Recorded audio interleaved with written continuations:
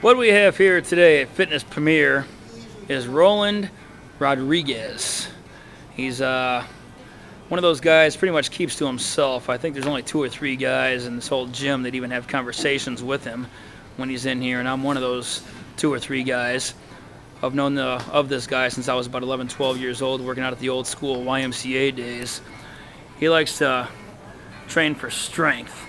So here he's got, looks like 12 plates on each side, plus a barbell loaded across, and he's, uh, oh, he's just adding a quarter now.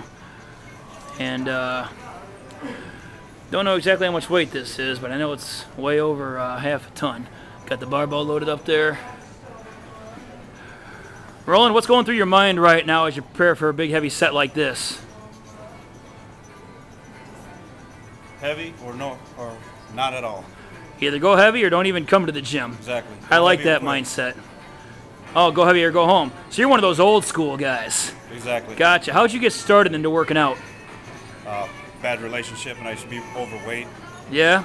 and uh, that changed my whole life. Gave me something to look forward to, but it also gave me a lot of strength, inner and outer. So what do you mean? You had a bad relationship, you broke up, and you said, screw this, I'm just going to go to the gym? Or, I mean, how'd you uh, Wow. go from a bad relationship to working out? I was about 270 pounds. I was overweight, Yeah? and 24 is when I started bodybuilding. Okay. And uh, I've been in it 16 years, and I come back and shock the world. Okay. Gotcha. Okay, well, I'm going to show the viewers what it takes as you prepare for a set here. Spotlight's on you. Just do your thing. Do what you do best.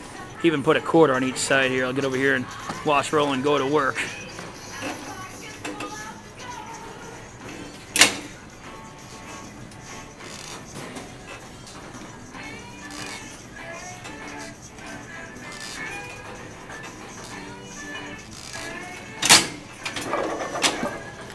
Good. How do you feel after a set of those? Good. Is that your heaviest set of the day? Now I got one more heavy. Okay. So you have two heavy sets like that, and that's the end of it, huh? Yeah, What else are you doing for leg day today? that's it right there.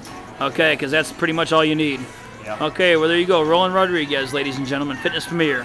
Thanks for watching.